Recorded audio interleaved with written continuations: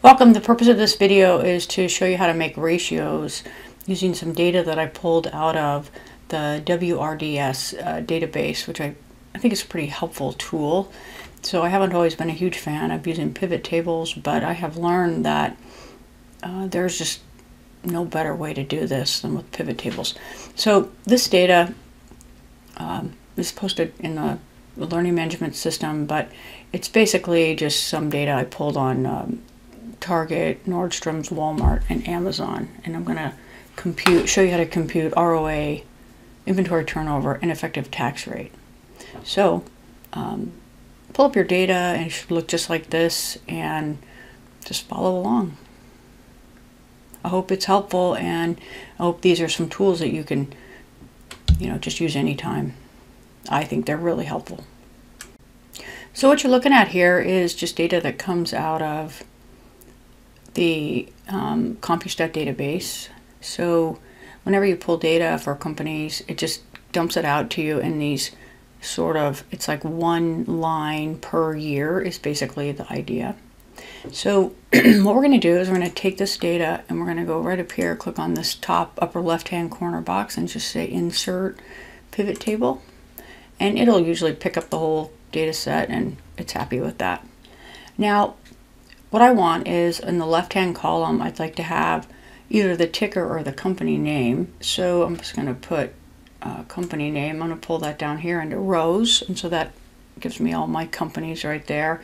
And then I like to also have ticker symbol right next to it. It always likes to put it underneath. So I've learned that if I go up here into uh, design and I click on report layout, show in tabular form, uh, that will push the tickers over here. But then I've got to go in here and turn off the totals and turn off the subtotals. So I did that by just clicking on this, do not show subtotals, and then in uh, grand totals uh, on off for all rows and columns. So then this gives me my nice little table I want to see. Now the next thing I want to do is I have to come up with whatever um, ratios I'm, I'm trying to compute. But I think it's important before I do that just to sort of show you. So let's just say we wanted no ratios. We just wanted to put assets. We could put assets over here. And it gives us a choice. We can have the sum of assets. Which, so this would be the sum of all the assets for Amazon for the time period of our table. Remember, it spans like five years or something. Um, but I don't necessarily find that all that useful. Instead, what I want to do is take this uh, fiscal year date and um, before I actually do anything, I'm going to move it over here so you can see it better. And I'm going to go here to this little down arrow over here and I'm going to click on that. Whoops.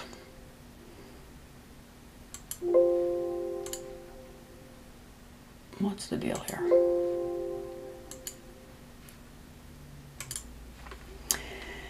So I'm going to grab this data year fiscal, click on that, but I want this to be in my columns. So I'm going to put it here. And what it does is, if I put it in this columns, um, it'll separate out my data by, by year. So notice I've got 2015, 16, 17, 18 because it knows how many years are there.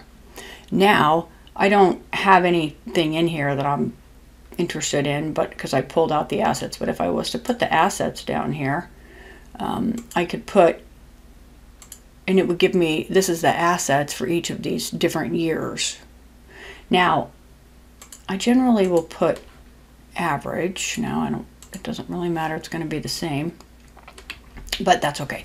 All right, so the whole point of this was to show you how to make ratios, so let me just show you that. So here we are, we're in the pivot table uh, menu. We're going to go to Analyze, and we're going to click on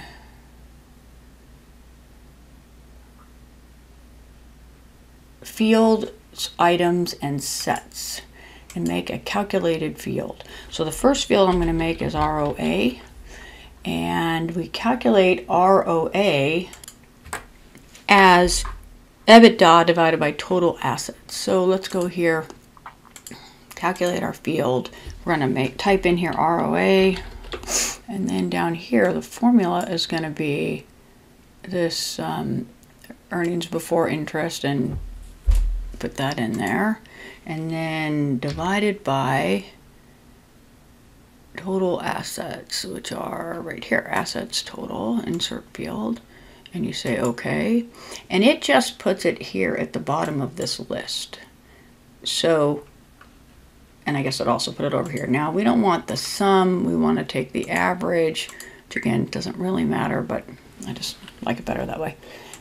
Okay, and then the next one we're going to make is going to be effective tax rate. So we'll go here and we'll write uh, ETR one of my favorites to calculate because I always think it's interesting to see how much people, companies actually pay in taxes. So we take the taxes paid, which is TXPD, right here, income taxes paid. We're going to insert that there, and we're going to divide it by the sum of pre-tax in income, which is PI, minus SPI. There's a few different ways you can do this, but this one works well for me. I like it. So we got effect effective tax rate, and then um, let's try profit margin also. So we go to calculated field. Profit margin is going to be, we need Rev T, cost of goods sold, SG&A, which I'm not sure if we've got here. Let me see here. Um, no, we don't. We've got net income. So we can do a form of profit margin. I, I don't know if it's the best one, but We'll go with that. Uh, we'll do net income. And we're going to divide net income by Rev T.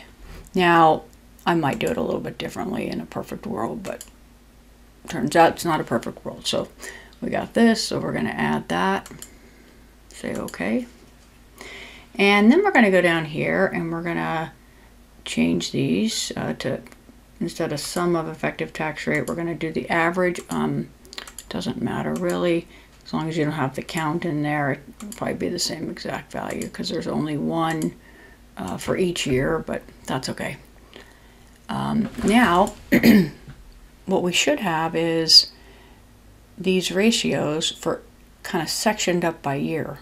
So this is great, except for pivot tables are kind of hard to work in. So what I like to do is go down here and then I type in here, um, this is the pivot for the ratios. And then I like to grab it out of here, copy it, take it over to another table, and then I'm going to insert it just as values because you really can't work in here. We're going to go over here and we're going to now take a look at these We've got this um, average of assets in here, which we really don't need. So let's go back in here and just get rid of this average of assets back out of there. And then we'll just recopy over this because it's not that difficult. We'll just recopy it. It doesn't really matter if we do this or not, but we're going to paste values and we're going to delete what we already have here. Now, what we've got here is um, ROA, and then this is ETR and this is a profit margin. And we've got it for this year 2015, so let's merge these cells together like this so it looks a little neater. And then we can take this, copy it, and then just paste it right across. We could also grab all of them like this, copy, and then just paste it. Now, I've got this sort of set up nicely, but I want to put a little box around this year just to make it, it makes it just easier to read it when you're trying to you know, pull these numbers off for use. So I find this helpful. Of course, you don't have to. And then I'll bold these and put them in the center. And then I just like to pick up this, oh, and I want to also make these into percentages. So I find that easier to deal with. But I want to see a few decimals, so maybe two is enough. So now that I have this, I can copy my format like this. Now another trick I learned a few years ago that I think is super useful is if you click on this and you double click on your format painter, then you can format paint that and this and this and this. If you don't double click, you can only format paint one thing. I find that super useful. Okay, so now we're gonna maybe format paint this.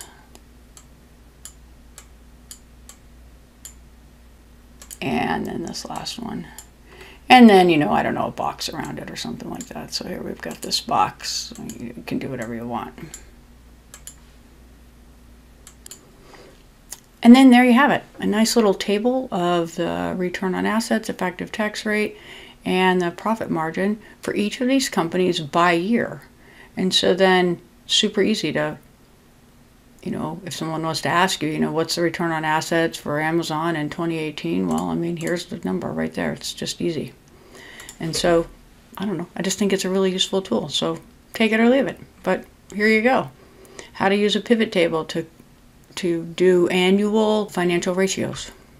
Have a great day.